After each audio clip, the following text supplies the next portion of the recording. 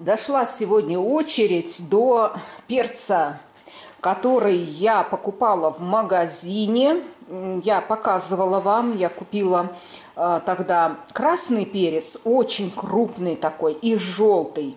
И вот в этой плошке красный магазинный перец, посеянный 12 февраля. А, надо было чуть раньше его распекировать, но времени у меня не было, поэтому вот только сейчас взялась за этот перчик. Но, в принципе, вот в таком возрасте перец очень хорошо выносит пикировку. Вот я приготовила вот такие стаканчики и уже начала а, высаживать сюда. И обязательно подпишу. Я хочу за этими перцами понаблюдать посажу их отдельно, поставлю табличку какую-то и посмотрю, какая будет урожайность у магазинного перца. Сорт мне неизвестен, к сожалению. Но перцы, конечно, очень крупные. Когда я показывала эти перцы, то у каждой перчинки было 4 э, э, верхушечки, вернее, на попке было 4 бугорка. И некоторые зрители мне написали, что перец делится на женский и мужской. Что я хочу сказать? Значит, э, агрономы отвечают на этот вопрос, что это все сказки. А, перец однополый, он не делится на мужской и женский, поэтому не считайте на попке вот эти бугорки, как говорится.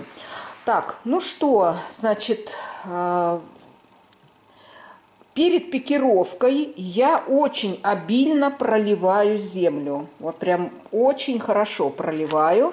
Так сеянцы легче вытаскиваются. И что я заметила, вот у этого перца прям чувствуется, знаете, мощь такая, прям мощь. Такие упругие, толстенькие стебелечки. Ну, просто красота. Любо-дорого прям вот взяться за него. Вот в основном семидольки хорошо скинул, но вот единичные есть экземпляры, которые не скинули семенную оболочку. А, я как-то, по-моему, в позапрошлом году вам э, об одном способе рассказывала, как э, ускорить удаление вот этих семидолек, которые остаются на сеянцах после всходов. И это касается любой культуры, будь то петуния, перцы, томаты, в общем, что хотите. Способ интересный, никто об этом не говорит, но он очень действенный. Я напомню сейчас, в общем-то, кто, кто не смотрел. Короче, что нужно сделать? Нужно на семидольку, вот на эту, просто плюнуть. Вот и плюнуть так, чтобы слюна попала именно вот на эту оболочку. Все, достаточно вот вашей слюны одной капельки.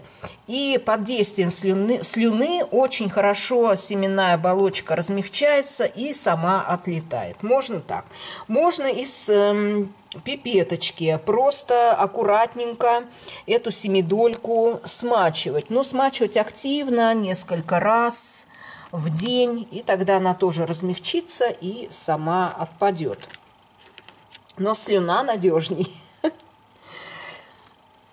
Это вот такой интересный способ, поэтому кто не брезгует, берите себе этот способ на заметочку. А, помогает очень хорошо. Я из подвала взяла ящики, вот 6 штук, помыла их, они чистенькие. Сейчас немного вода с них стекает. И муж притащил э, вот такую деревяшку. Я ее каждый год использую для рассады она широкая. И э, сейчас я на балконе буду освобождать место для того, чтобы установить конструкцию для рассады. Из ящиков мы делаем, э, как сказать, ножки, что ли. Ну, в общем, подставки будут из ящиков. Это очень удобно, это надежно, выдерживает хороший вес. Вот, и по высоте нормально.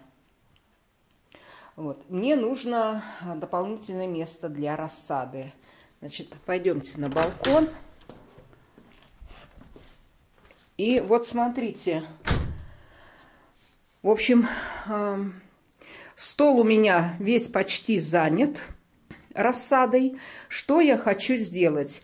А вот та широкая доска, по-моему, она вмещается у меня вот сюда. То есть по ширине вот этой стены. И я буду сейчас все убирать с пола. И вот так буквой «Г» э, будут у меня стеллажи для рассады. То есть вот стол, и вот возле той стены будет вот эта доска. Вот этим я сейчас и займусь.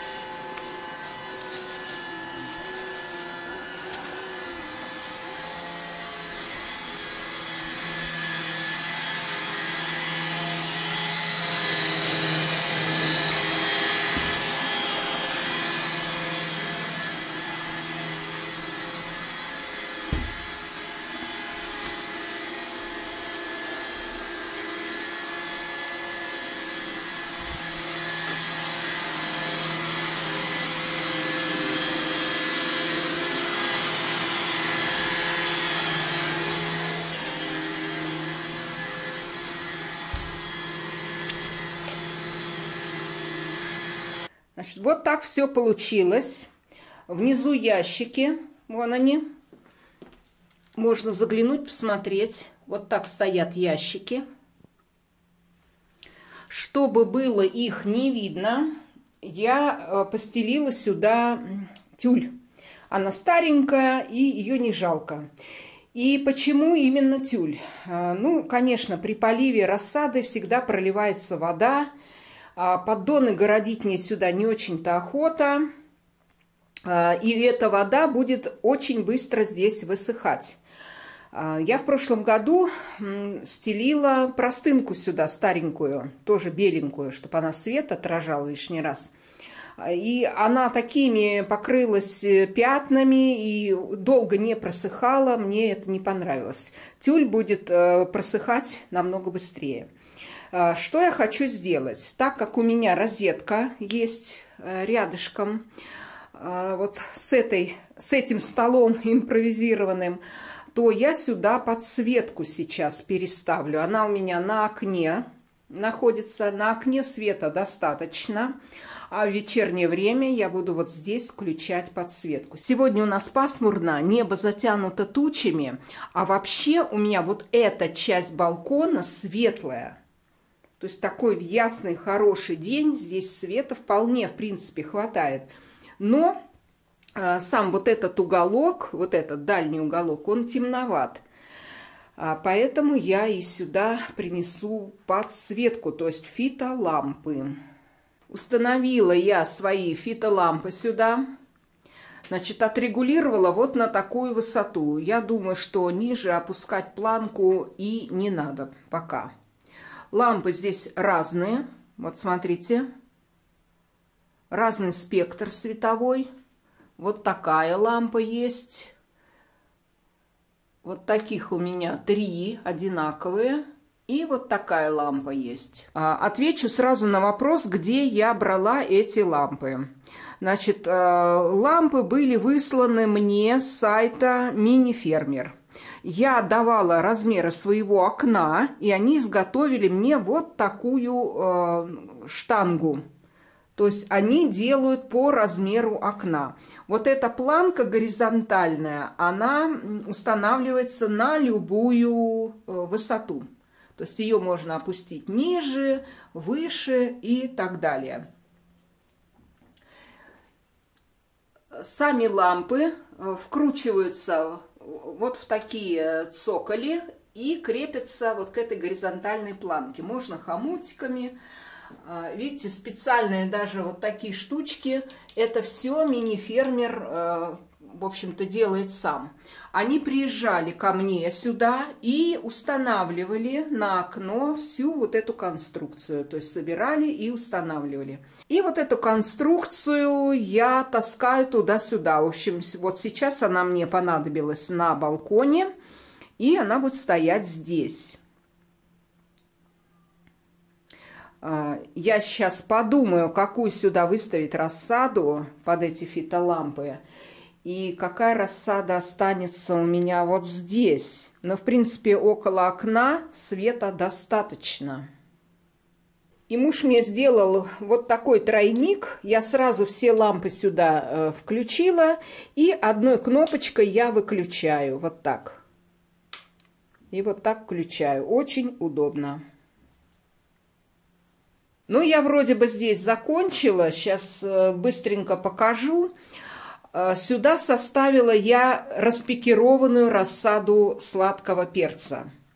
У меня еще много не распекированной, поэтому вот здесь свободное пустое место еще я для перца приготовила. А, перец не очень склонен к вытягиванию рассады, поэтому ему вполне будет здесь достаточно того света э, дневного, который сюда попадает, и плюс еще вот эти фитолампы, которые я буду включать во второй половине дня. А, я думаю, что здесь будет перцу хорошо. И вот в этом уголочке рассада баклажан. У меня их мало, я не стала много сажать. Мы не очень их едим, честно говоря. Но так как здесь сорта хорошие, э, я думаю, вот этого урожая нам вполне э, будет достаточно. Саму рассаду в подробностях я вам буду показывать в другом видео, а сейчас я просто покажу, как все расставлено у меня на сегодняшний день. А здесь томаты, тоже много очень еще пока в плошках, тоже не распекированных. Вот это место свободное я займу томатами. И для томатов еще я подготовила вот эту верхнюю полку. Раньше у меня здесь баклажаны стояли, я их убрала. Места, может быть, тоже для помидоров не хватит. Придется мне занимать окна уже в зале, скорее всего. Вот. Но, но э, пока буду довольствоваться тем, что есть. Цветочную рассаду более подробно и поближе я вам покажу в другом видео. Вот. А сегодня я показываю вам, какой порядок я, в общем-то, навела на балконе. Вот здесь у меня стоечка с цветами. Скоро зацветет фуксия. Вот она, смотрите, уже бутончики. Вот одного сорта фуксия. И вот здесь тоже уже бутончик есть. Это другого сорта. А, фуксия зимовала на холодном балконе. Я ее ни разу не переносила в комнату. Она выдержала самые низкие температуры, которые были здесь на балконе.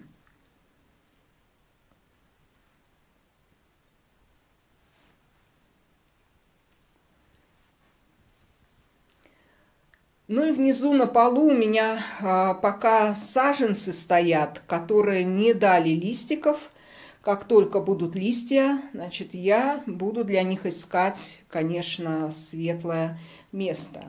Температура в данный момент а, где-то, наверное, 18 или 19 градусов. Решила сделать манник. А, растапливаю половину пачки сливочного масла на медленном огне. Один стакан сахарного песка.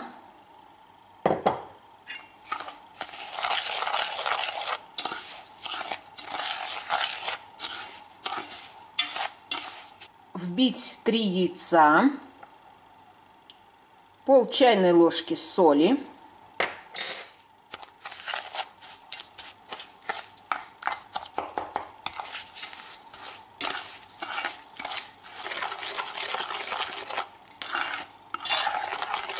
Добавляем баночку сметаны полностью. Сюда же пол чайной ложки соды. И перемешиваю.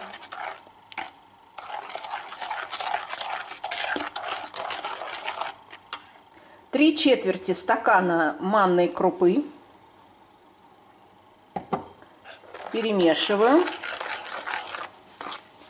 И даю постоять примерно минут 10-15, чтобы крупа немножечко набухла.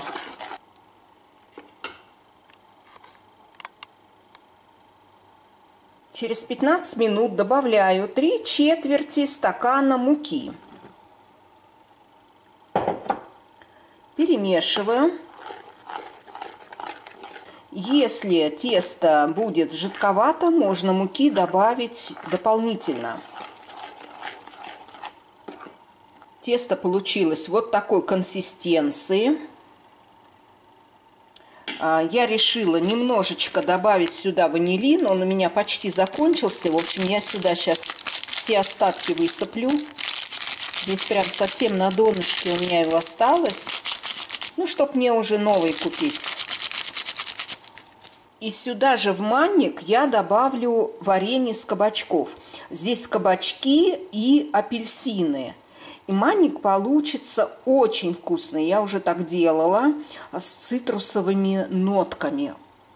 Я столько наварила этого варенья из кабачков. Нам, наверное, года на два хватит. Поэтому я его вот так в большом количестве добавляю а, в манник. Ну, получится очень вкусно. Так, сейчас перемешаю и буду выкладывать в форму. Вместо формы я буду использовать свою любимую чугунную сковородку. В ней вся выпечка всегда удается. Этой сковородке уже много-много лет. Она еще с советских времен. Вот, но я ее берегу. Ну, с ней, в принципе, ничего и не случится. Она вечная. Я обильно смазываю растительным маслом. Теперь нужно слегка припудрить мукой, можно манкой. Ну и теперь выливаем тесто.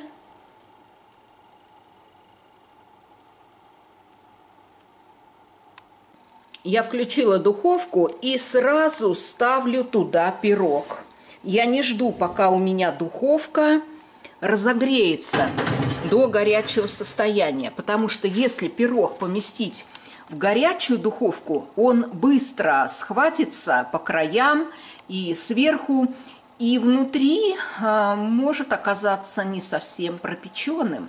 Как раз пока духовка разогреется, а разогревается у меня она очень быстро, а пирог там, ну, так скажем, потомится немножечко, манка еще лучше набухнет – и получится все замечательно.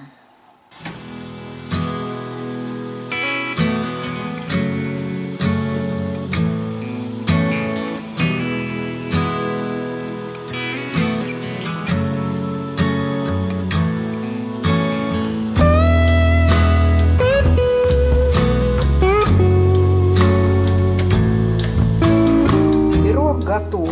Ставлю сковородку вот так на мокрую тряпочку и даю немножко постоять. Так будет легче вытащить его со сковородки. Не при